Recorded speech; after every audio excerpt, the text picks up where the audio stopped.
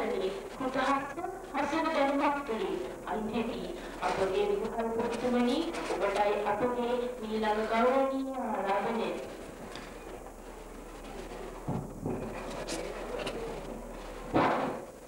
මුලින්ම මාගේ ගෞරවනීය ආරාධනය. අප විද්‍යා අංශු යෝගානන් බණ. අංශු ප්‍රධාන ලයින ලෝක පූර්ණාචාරය ඊළඟට විසුවද ඇරෙවි අප විද්‍යා සංයමයේ සභාපතිතුමාටයි පැත්තකින්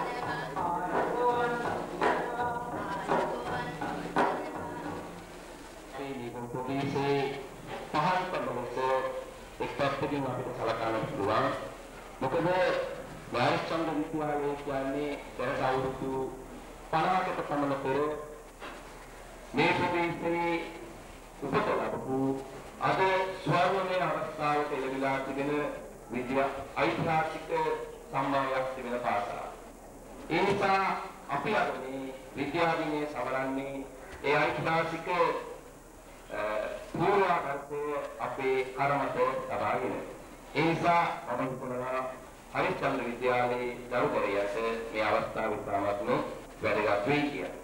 ඒ නිසා මම මගේ කාර්යය හැටියට තිබෙන්නේ අද මෙම ස්ථානයේට පැමිණලා සිටින අපේ ආරාධනය පිළිඅරගෙන අපට හරබර දේශනාවකින් සංග්‍රහ කරන්නට එම ස්ථානයට පැමිණි කොළඹ විශ්වවිද්‍යාලයේ මනෝවිද්‍යාව පිළිබඳ දේශක කතිකාචාර්ය ආචාර්ය දයාරෝහණ අතිපූර්ණ මහත්මාව අපි අපේ හදවතින් ඒ වගේම ගෞරවපූර්වකව අප මේ අවස්ථාවේ පිළිගන්නවා. ඒ වගේම අපගේ ආරාධනය පිළිබඳ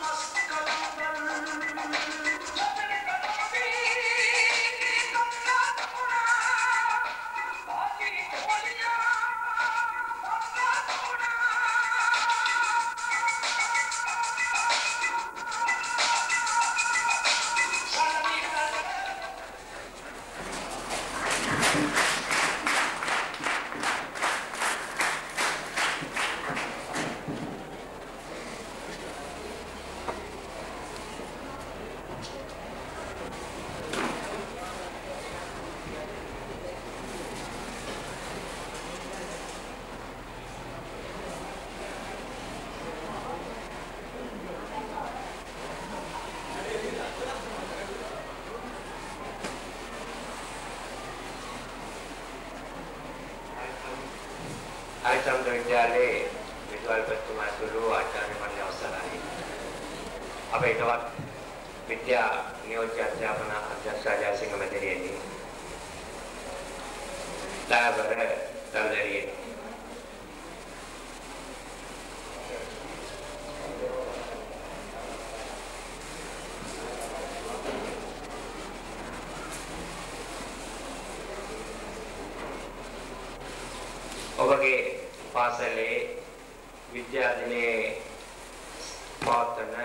අද දින ඔබ හැම සමග එක්වන්නට මට ආරාධනා කිරීම ගැන මම වේවින් සතුටුයි.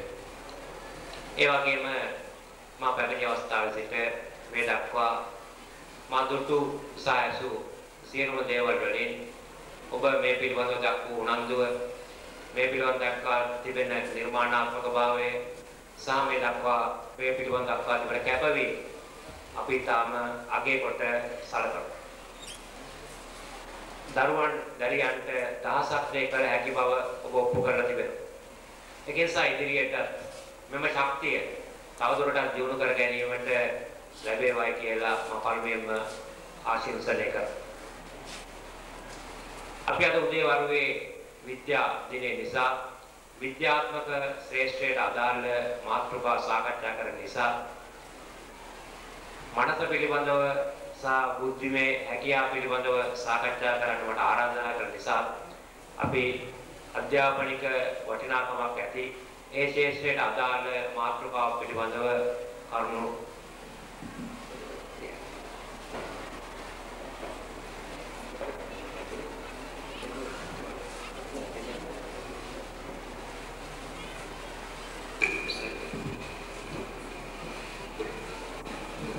සාකච්ඡා කරන්නටයි අපි බලාපොරොත්තු වෙන්නේ. පළමුවෙන්ම මූලික අඩිතාලමක් හැටියට මම කියන්න සාකච්ඡාවදී අපි මනෝවිද්‍යාඥයන් හැටියට අධ්‍යාපන ශාස්ත්‍රයේ වැඩ කරන්න හැටියට පිළිගන්න මූලික පිළිගැනීමක් තිබෙනවා.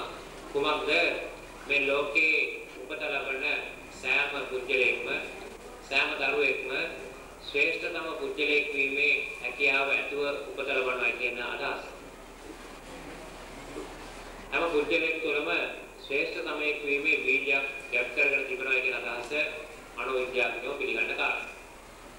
සාමාන්‍ය දාර්ශනිකයන්ෝ කිව්වත් මිනිසක් බව ලැබලා උපදින හැම කෙනෙක්ම උසස් වූ මනසක් ඇතුව බිහි වෙන කෙනෙක්. මන උස්සා මනුස්සා කියලා අපි හඳුන්වනවා මනසේ උසස් වූ පුද්ගලයා මිනිසා කියලා. එතකොට මිනිසා කියලා කියන්නේ මනසේ උසස් වූ පුද්ගලෙක්. උපත ලබන අවස්ථාවේම මේ උසස් වූ මනසේ මූලික බීජයන් කැප් කරගෙන තමයි අපි උපත ලබන්නේ. ඒ නිසා එකක් තමයි ඔබ හැමදෙනා අපි හැමදෙනා උපත ලබනකොටම මේ ලෝකයේ ශ්‍රේෂ්ඨතමයෙක් වීමේ මූලික බීජයක් කැප් කරගෙන උපත ලබලා තිබෙනවා. අනිකුත් සෑම න්‍යෂ්ටියකට වඩා මිනිස් ජීවය උපත ලබන න්‍යෂ්ටිය ඉතාම ප්‍රබල න්‍යෂ්ටියක් හැටියට තමයි විද්‍යාඥයෝ සොයාගෙන තිබෙන්නේ. අන් සෑම න්‍යෂ්ටියකට වඩා ප්‍රබලම න්‍යෂ්ටිය තමයි මූලික මිනිස් බීජයක් ඇති වෙන න්‍යෂ්ටිය.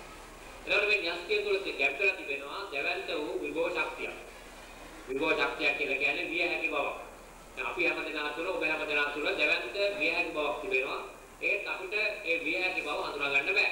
අපි දන්නේ නැහැ. අපි ඒකට කියනවා විභව සම්පතක් කියලා. මේ විභව සම්පත දියුණු කර ගැනීම, දියුණු කර ගැනීම තමයි අපි ඉගෙන ගන්නා අධ්‍යාපනය වගේ සහ නොයෙකුත් පොතපත ඇසුරින්, පරිසරය ඇසුරින් වැඩි දියුණු කරගන්න. එතකොට අපි හැමදෙනාම මූලිකවම මේ ශක්තිය ගැප් කරගෙන තිබෙනවා. අධ්‍යාපනය මගින් පොත්පත් කියවීමෙන් මෙවැනි අවස්ථා මගින් මේ ශක්තිය ක්‍රමක්‍රමයෙන් අපි වැඩි දියුණු කරගන්නවා. අපි මේක එහෙම කිව්වට සමහර කෙනෙකුට පැහැදිලි නොවෙන්න පුළුවන්. මේක උදාහරණයක් අරගෙන කිව්වොත් සමහරකට තේරුම් ගන්න පුළුවන් වෙයි. අපි දන්නවා දැවැන්ත නුග ගහක්. මේ දැවැන්ත නුග ගහක ආරම්භයේ තියෙන්නේ පුංචි නුග ඇටයක.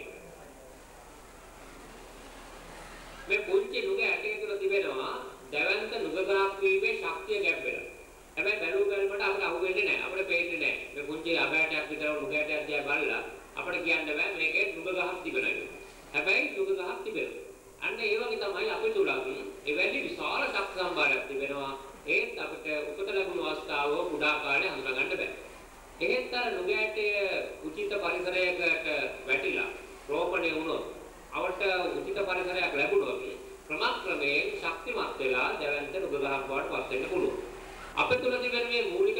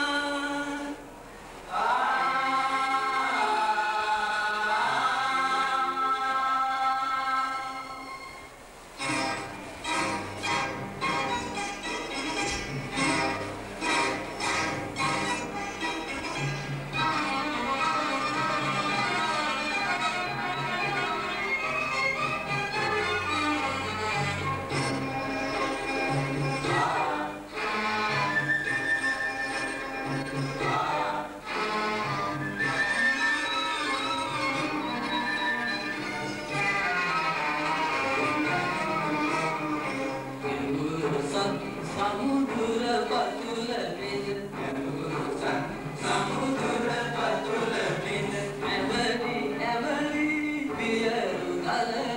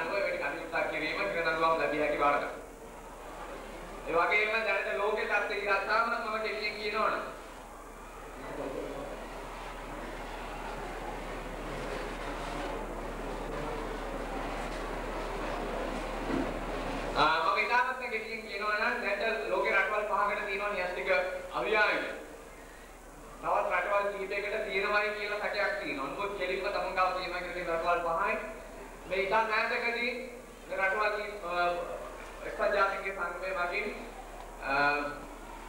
घर में इंटरनेट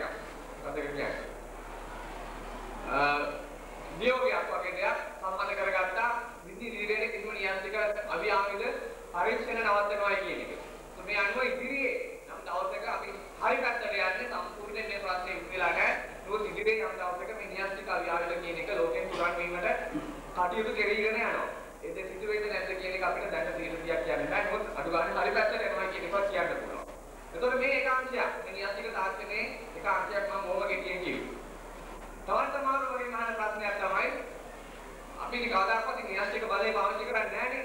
ඉතින් මොකටද මේ ලංකාවට පරමාණු ශක්ති අධිකාරය? මොකද්ද මේ පරමාණු ශක්ති අධිකාරය කරන්නේ? මොකද දෙවෙනි එක තමයි න්‍යාස්තික තාක්ෂණයේ භාවිතා වෙන දෙවෙනි ආකාරය තමයි මම කිව්වේ. විදුලි බලයෙන් නිෂ්පාදනය කිරීම.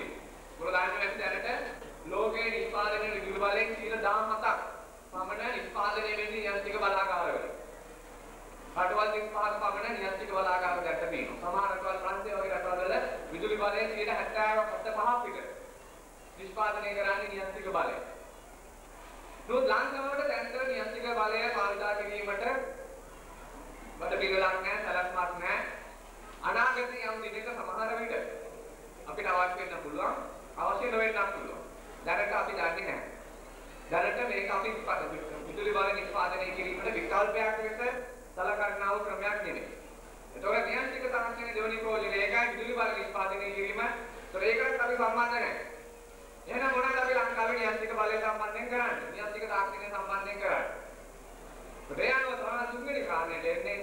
නියන්ත්‍රික තාක්ෂණය සාමාන්‍ය ප්‍රසිද්ධ. මම කිව්ව පළවෙනි කරුණ දෙකට උනාට නියන්ත්‍රික තාක්ෂණයේ තව ප්‍රෝජන, වියවරණ